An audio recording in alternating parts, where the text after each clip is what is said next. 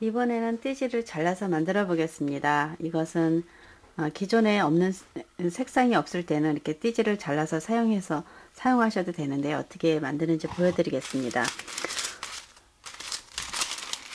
이렇게 띠지를 잘라서 색상별로 비슷한 색끼리 이렇게 준비를 하시는데 어, 이것은 어, 띠지를 음, 종이를 반으로 접어서 잘랐기 때문에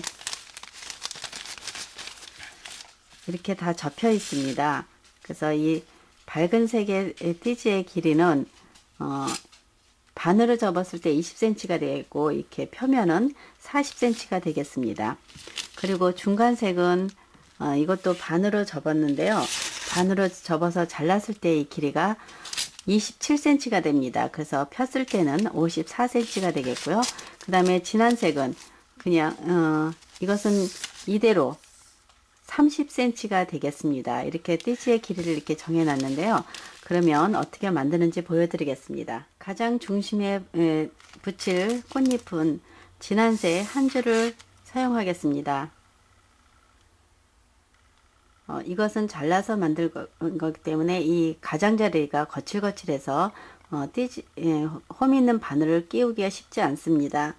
그래도 이렇게 예, 끼워서 중심에 붙일 꽃잎 한 개 혹은 두 개를 만들어서 준비하시면 되는데요. 이렇게 만들어 주시고 뒤로 좀 돌려서 좀 느슨하게 해 주신 다음에 네, 이렇게 해서 눈물방울 모양을 만들었습니다. 다시 하나 더 만들어서 두 개를 만들겠습니다. 진한색 두 줄을 이게 이 띠지 한 줄이 30cm니까 60, 60cm가 되겠습니다. 띠지 두 줄을 감아서 어, 작은 꽃잎을 만들겠습니다. 이렇게 감다가 이 사이에 끼워서 계속 감아주시면 됩니다.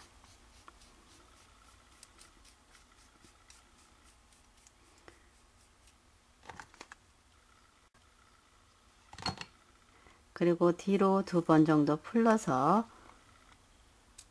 살짝 느슨하게 만든 다음에 이렇게 만, 어, 풀로 붙여서 눈물방울 모양을 만들게 되면 이런 모양이 됐습니다. 그래서 이것 이번에는 어, 두 번째로 작은 꽃을 만들어 보겠습니다. 이것은 진한색 띠지 두 줄이 두 줄을 사용하고 그 다음에 중간색을 2분의 1로 사용했습니다. 길이는 이게 30cm가 되겠고 60cm 그래서 두 개 두 줄이 60cm가 되겠고 그리고 이거는 27cm가 되겠습니다. 그래서 모두 87cm를 감을 건데요. 어, 이것은 진한 색을 먼저 감아 주시고 진한 색을 먼저 끼워서 이렇게 감습니다. 그리고 흐린 색을 그리 나중에 맨 나중에 이렇게 끼워서 감으시면 되고 끝부분에 이렇게 됐을 경우에는 안쪽을 좀 잘라내고 풀을 칠해서 어, 붙여주시면 되는데 이것을 뒤로 좀 해서 느슨하게 풀은 다음 예, 이렇게 해서 눈물방울 모양을 만드시면 되겠습니다. 이번에는 네 번째 꽃을 만들어 보겠습니다. 이것은 중간색 54cm 띠지를 준비하시고 이렇게 펼치게 되면 54cm가 되겠습니다. 그리고 어, 이것은 펼쳐서 40cm가 되겠고 그리고 이건 20cm가 되겠습니다. 그래서 모두 115cm가 되겠는데요. 어, 진한 색을 먼저 어, 감기 시작한 다음 짧은 것을 먼저 넣어줍니다. 이렇게 짧은 조금 더 감아서 짧은 띠지를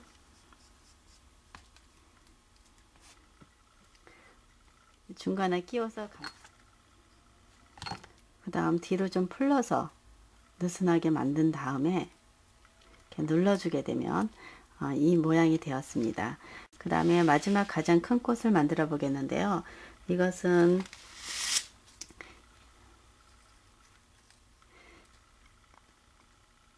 (40cm) 짜리 3개를 준비하시고 그리고 어, 하나는 반으로 사용하겠습니다. 40cm 3개와 20cm 그래서 140cm가 되겠습니다.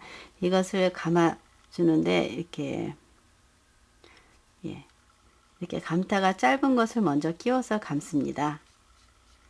그리고 다른 띠지를 하나 더 끼워서 감고 어느 정도 감은 다음에 세 바퀴 네 바퀴 감은 다음에 다시 마지막 띠지를 끼워 주시면 됩니다.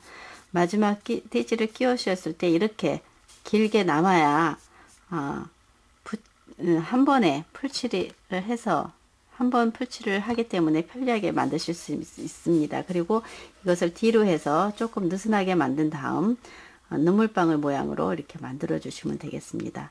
이렇게 만들어 놓고 이 위에다가 풀칠을 하겠습니다.